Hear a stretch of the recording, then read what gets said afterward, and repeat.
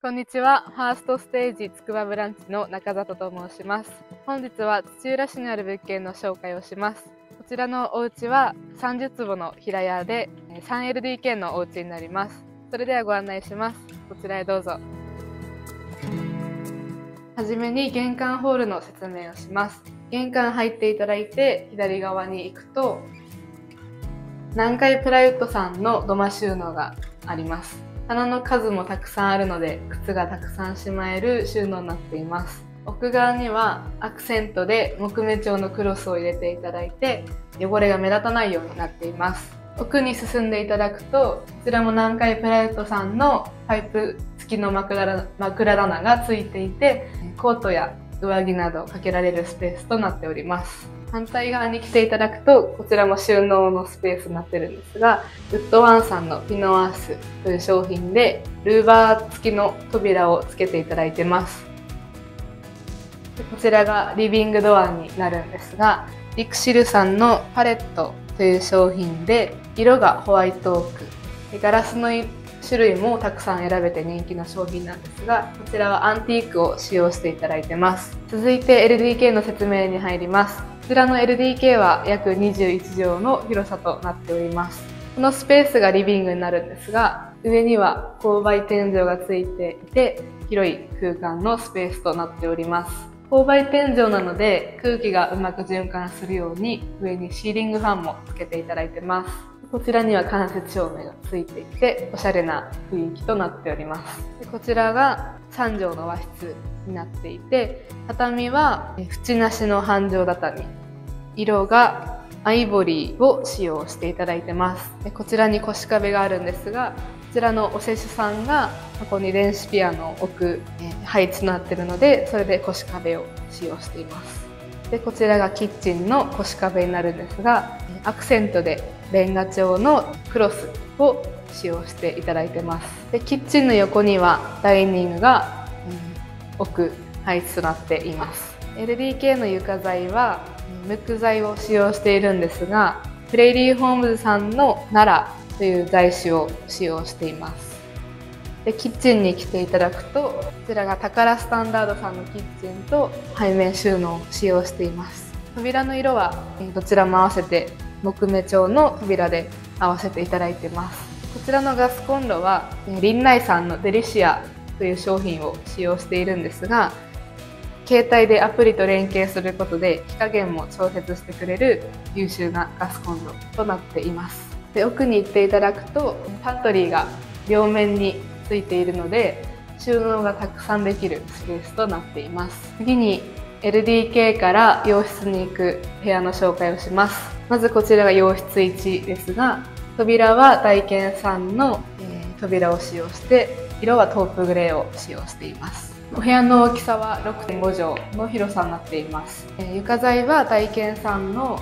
クリアベージュを使用していて各部屋違う床材になっています。右側に行っていただくと1.5畳のウォークインクローゼットがあるので十分な収納スペースとなっております。次に洋室2の説明に入ります。こちらの扉も洋室1と同じ扉を使用しています。部屋の大きさは6畳になってて、床材は大健さんのトープグレー。ウォークインクローゼットに入っていただくと同じ1.5畳なんですが、正面には鳥柄のクロス、側面にはストライプ柄のクロスを使用していただいてます。次に洋室3の説明に入ります。こちらが洋室さんの扉なんですが、えー、こちらはリクシルさんのヴィンティアという商品で、色はネイビーブルーを使用しています。部屋の大きさは6畳。で床材は体験さんのティープ、ティーブラウンを使用しています。こちらに来ていただくと収納の扉。こちらもダイケンさんのネオホワイトの色で3連連動する収納の扉になっています。こちらの中にもパイプ付きの枕棚が付いています。続いて LDK から水回りの説明に入ります。まずこちらは家族で使用できる収納のスペースとなっています。隣がトイレになっていて、扉が大ンさんのネオホワイトの色を使用しています。中は TOTO さんのトイレを使用して、タンクレスのタイプトイレは NJ2 という商品を使用していますトイレの中のクロスはアクセントを使っていたりしてこだわった空間となっています。こちらに進んでいただくと3.5畳の広々としたランドリースペースとなっています。こちらが造作洗面で1から選べるようになっているんですが鏡がタカラスタンダードさんタイルがリクシデさんでカウンターが愛花工業さん棚は南海プライオットさんを使用しています。造作洗面に続いてカンタ君のカウンターも作っているんですがこちらも南海プライオットさんの商品を使用しています。カンタ君の配管を隠すボックスも付けていただいてます。こちらには洗濯機置くスペースがあって反対側にはカンタ君で乾かしたものを畳んでしまえる収納がついています。こちらが1.5畳の脱衣室になっています。奥にはタカラスタンダードさんのユニットバスがついていて大きさは1坪という標準のサイズ。浴室暖房換気扇がついているのでヒートショックなどの予防にもなります。床はタイルを使用しているのでとてもお掃除がしやすいようなものになっています。続いて外観の説明に入ります。まずメインの外壁材でこちらを使用していただいて日葉さんの V シリーズマイスターウッド調のイデアル MG ボルドという色を使用してます。こちらのメインの外壁材には合わせてサッシは白で統一していただいてます、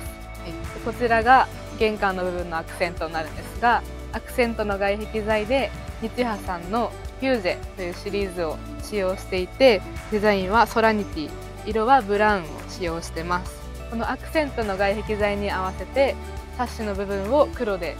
使用していただいてます。玄関ドアは YKKAP さんの商品でイノベストというシリーズになります。デザインが506